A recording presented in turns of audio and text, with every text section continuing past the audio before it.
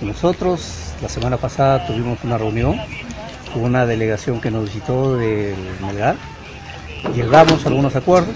Lamento que el responsable que lideró esta delegación no se haya expresado y comunicado con la propiedad del caso.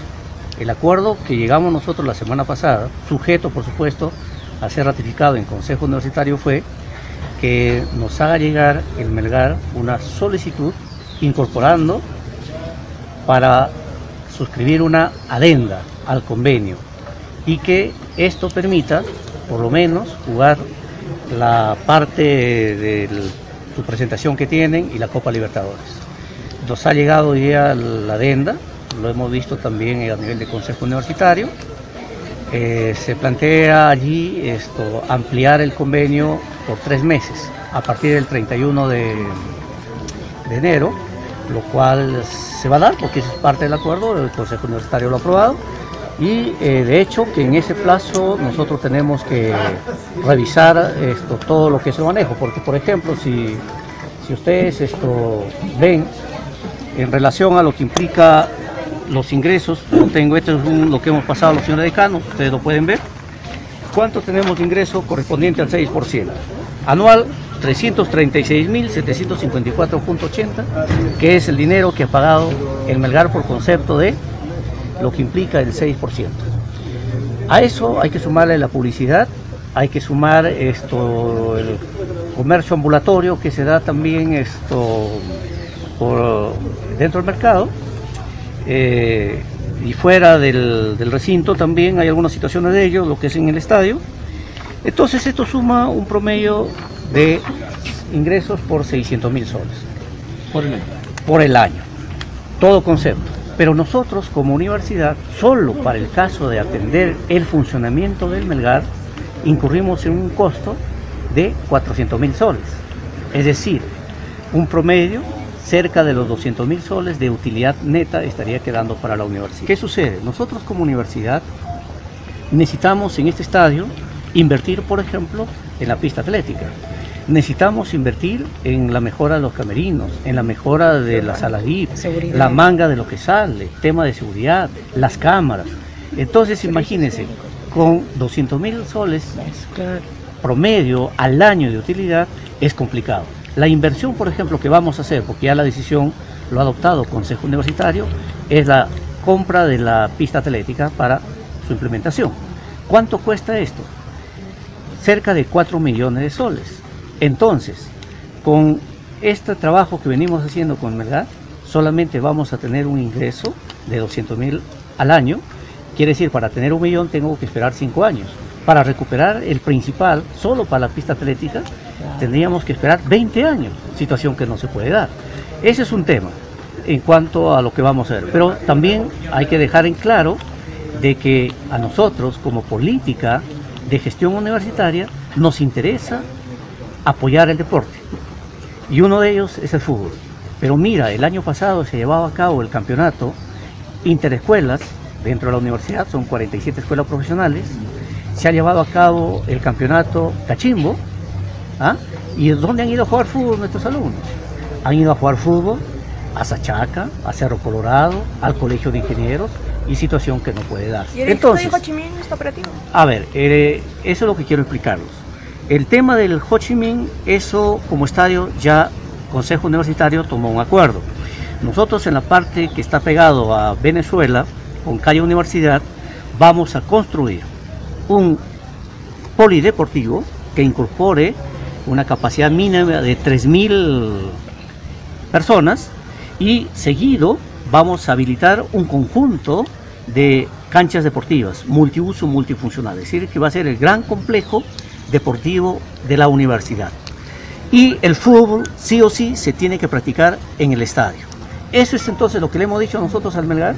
Muy bien, por lo pronto acordemos ampliar este convenio por 90 días, que terminaría en 30 de abril, y vayamos conversando cómo ustedes mejoran también el tema. Uno, dando prioridad a lo que es esto, la práctica del deporte en la universidad, porque sí, Consejo Universitario, por ejemplo, ahora ha dicho, prioridad uno lo tienen la comunidad universitaria, es decir, los alumnos para que practiquen el deporte. Estamos hablando de una utilidad de 200 mil soles al año, porque hemos dicho que tenemos nosotros. Entonces, para recuperar eso, con esta forma de trabajar con el Melgar, necesitaríamos nosotros 20 años para recuperar el capital principal. Si no se hace el convenio con, de ninguna manera, no, de, ninguna, pista atlética. No, no, no, no, no, no, nosotros tenemos ingresos.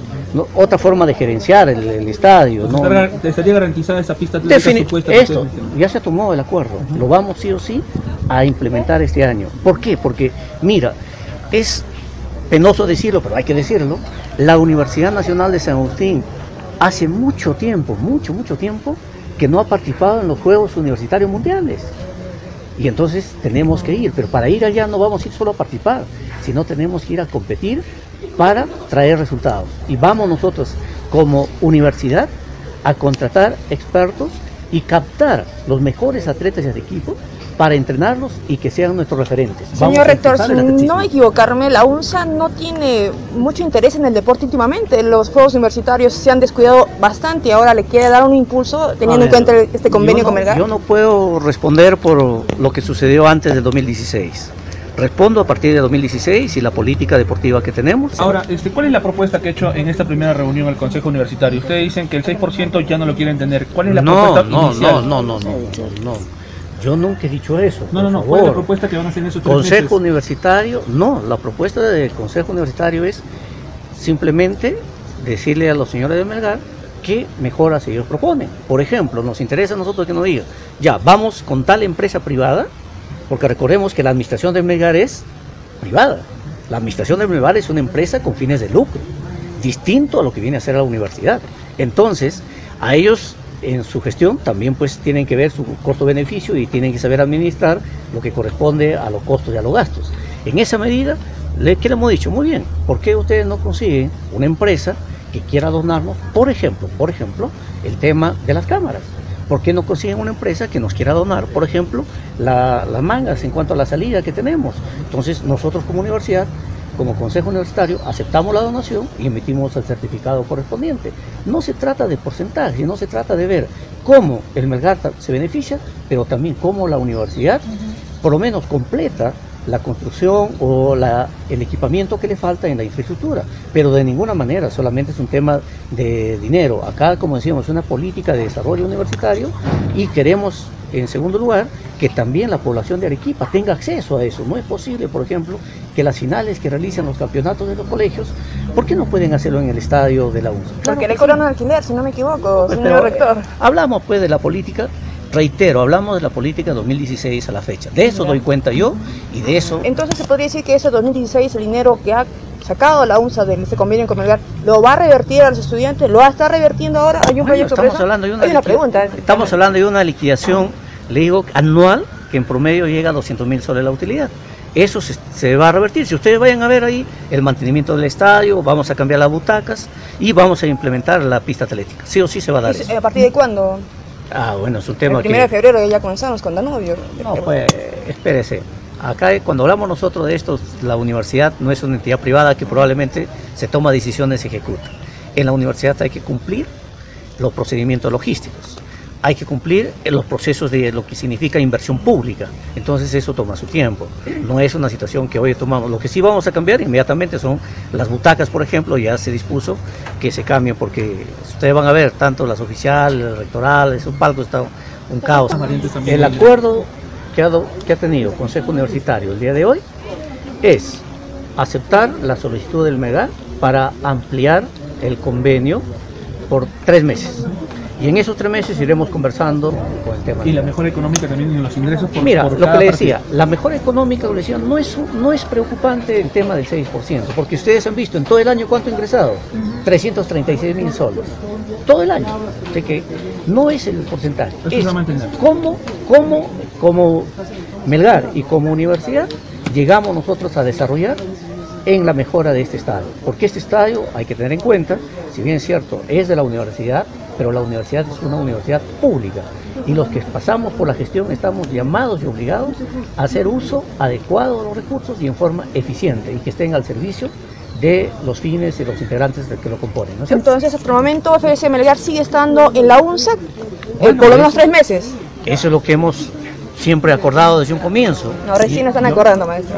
Antes no, había eso. Se quedó, sino por eso les reitero, una mala información y ahí hay que llamarles pues a los amigos del Melgar cuando leen a alguien para conversar, que hablen con objetividad.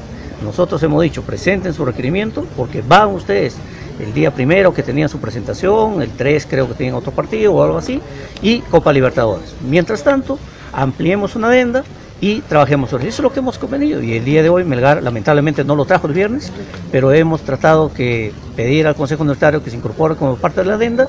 Se ha acordado ampliar hasta el 30 de abril este convenio, mientras vayamos conversando. Para finalizar, un mensaje a los hinchas que entiendo que hoy día han hecho un plantón, no ha habido buena cantidad, pero sí se siente el malestar, el malestar de los hinchas rojinegros a la posición de la UNSA. ¿Les puede decir algo a ellos para tranquilizarlos, por favor? Que nosotros eh, somos también parte de lo que es eh, estos triunfos de Melgar y entiendo que los hinchas también, pero ahí hay una situación muy importante, que eh, nosotros tenemos que gestionar el uso correcto de la infraestructura. Tanto a la hinchada le decimos, no hay ningún problema, se juega la Copa Libertadores, se inicia el campeonato que tiene el Melgar, va a hacer todas las presentaciones en las mismas condiciones que se han tenido el año pasado y esperamos que en, antes de fin de mes, pues esto el Melgar haga llegar la propuesta coherente para poder hacer uso del Estadio de la UNSA. Pero está siempre el Estadio de la UNSA a disposición de los um, deportistas de Arequipa y de los que necesiten utilizarlo como debe ser. Doctor,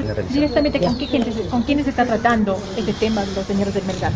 Bueno, nosotros, hemos quedado en Consejo Universitario que solo este tema lo vamos a tratar con el señor representante legal acreditado del mercado. El doctor Suárez. Asumo que sí. Con, él, vamos a tratar, sí, porque ya la comisión que fue a conversar anteriormente dio una información que no era la correcta, porque la, información correcta es el acuerdo que le estoy comunicando, que ha tomado el Consejo Universitario en base a esa conversación. Pero lamentablemente se adelantaron en dar otro tipo de información que no corresponde.